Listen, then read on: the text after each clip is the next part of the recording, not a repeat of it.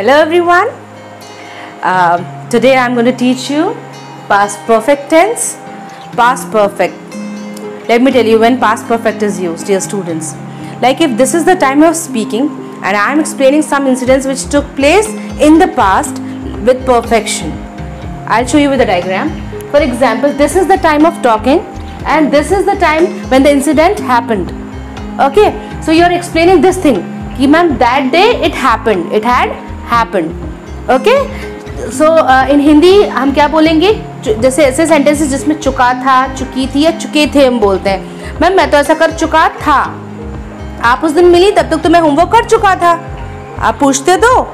Okay so dear students talking about the rules now in affirmative or positive sentences the rule goes subject plus had plus main main third form and object dear students the good thing about uh, past perfect is had had is like you need not remember whether the subject is singular or plural both are going to take had as the helping verb talking about the main verb third form uh, you know it is perfect every perfect is going to take main verb third form okay so for example i have given here she had written a letter वह letter लिख चुकी थी वह letter लिख चुकी थी Now dear students talking about negative subject plus had plus not main verb third form and object so she had not written a letter वह letter नहीं लिख चुकी थी talking about interrogative uh, simply had आगे आ जाएगा and then subject will follow it so had plus subject plus main verb third form and object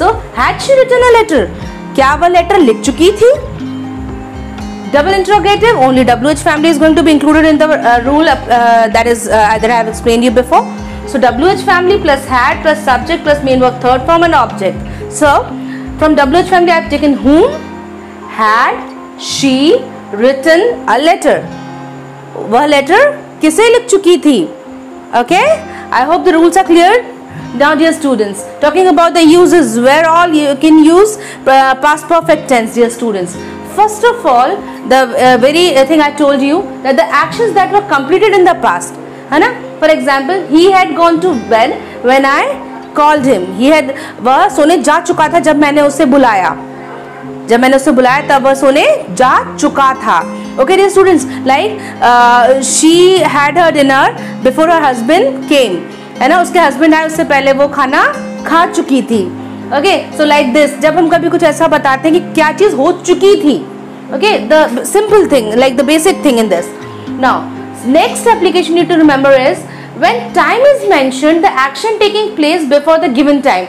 For example, जैसे कि at 5 P M they had close the office अगर हम time mention कर रहे हैं हम बता रहे हैं उस समय तक क्या हो चुका था at 5 pm they had closed the office for example at 8 pm he had left for the station 8 बजे वह स्टेशन के लिए जा चुका था please remember everywhere you are listening चुका था चुकी थी okay dear students now moving on to its third application that is used for an action in the past which became the cause of another action in the past, dear students. है ना? A times, dear students, you might get confused कि एक ही sentence में have और had आ जाता है. I'm not talking about its application. अभी मैं थोड़ा सा हट के बात कर रही हूँ आपसे कि कभी कभी एक ही sentence ऐसा आता है जिसमें had भी यूज़ हो रहा होता है और have भी यूज़ हो रहा होता है.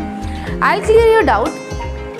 Dear students ऐसा तब होता है जब दो इंसिडेंसेस है ना, जो ज़्यादा पहले हुआ है, उसके उसके साथ हम हैड लगाते हैं और जो उसके बाद हुआ उसके साथ हम हैव लगाते हैं. जैसे कि डियर स्टूडेंट्स एग्ज़ाम्पल लेते हैं. आप पार्टी में पहुँचे तब तक वह केक काट चुकी थी।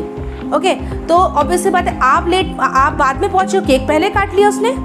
है ना? तो बाद में क्या चीज़ हुई है? आपका जाना। और पहले क्या चीज़ हुई उसका केक काटना। So if you are explaining this to me, you will say, Deepika ma'am, I have reached the party, but she had cut the cake. Ma'am तब तक वो केक काट चुकी थी। काम दोनों ही हो चुके हैं। मान लीजिए, कल की आप बात बता रहे हो तो आप कल कल भी, कल पार्टी भी हो चुकी आप भी जा चुके और केक भी कट चुका था। लेकिन पहले काम कौन सा हुआ? केक कटने का। उसके बाद वाला काम क्या हुआ? आपके पहुँचने का। तो आई होप आपको समझ में आया कहाँ हैव यूज़ करते हैं, कहाँ हम हैड यूज़ करते हैं। है ना? जैसे कि अगर आप गाड़ी है, आपके पास अभी एक्टिवा है और उसको आपने सेल आउट कर दिया और उसकी जगह पे आपने फोर व्हीलर उठाया है।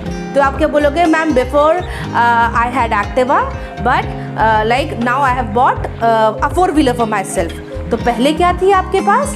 एक्टिवा जिसको आप अपने सेल आउट कर दो और आपने अपने घर के लिए क्या खरीद? नहीं फोर व्हीलर तो हैड आया आपने पुरानी चीज़ के संग और हैव आता है नई चीज़ के। इंसिडेंट जो भी इंसिडेंट्स में ज़्यादा एडवांस चीज़ है, उसके संग हम हैव लगाते हैं। Okay now coming back to the topic dear students like I thought मुझे बता देना चाहिए now again coming back to the topic I was talking about की use for an action in the past which became the cause of another action in the past for example like I had lost my book so I bought another उसको दूसरी book लेने की ज़रूरत ही क्यों पड़ी? क्योंकि उसकी पहली वाली बुक उसने खो दी थी, है ना? So I had lost my book so I bought another one ठीक है? For example another example I give you he was very sad because his son had failed वो बहुत दुखी था क्योंकि उसका बेटा फेल हो गया। आप मत करना किसी को इतना दुखी, है ना? हम सबको पास होना है। Okay talking about the fourth application use to express express a wish that that has not been fulfilled ऐसी कोई विश जो फुलफिल ही नहीं हो पाई, है ना? तो उसके साथ भी हम ये यूज़ करते हैं पास्ट परफेक्ट जैसे कि if I had worked hard I would have past अगर मैंने मेहनत की होती तो मैं पास हो जाता। Okay like for example if I started early I would have cut the train अगर मैंने जल्दी शुरुआत कर दी होती तो मैं शायद ट्रेन पकड़ लेता। ठीक है? ज़िंदगी में कभी अफसोस के लिए यार जगह मत छोड़ना टाइम पे उस चीज़ों को कंप्लीट करना। Okay talking about the last one used with adverbs like before, till, since, है ना etc. So example here is I had already met him. Another example you can see is like I had not seen him till then मैंने भी उसे जाने कब से नहीं देखा था है ना? I had not seen him till then then क्यों लगाया मैंने? नाव क्यों नहीं लगाया?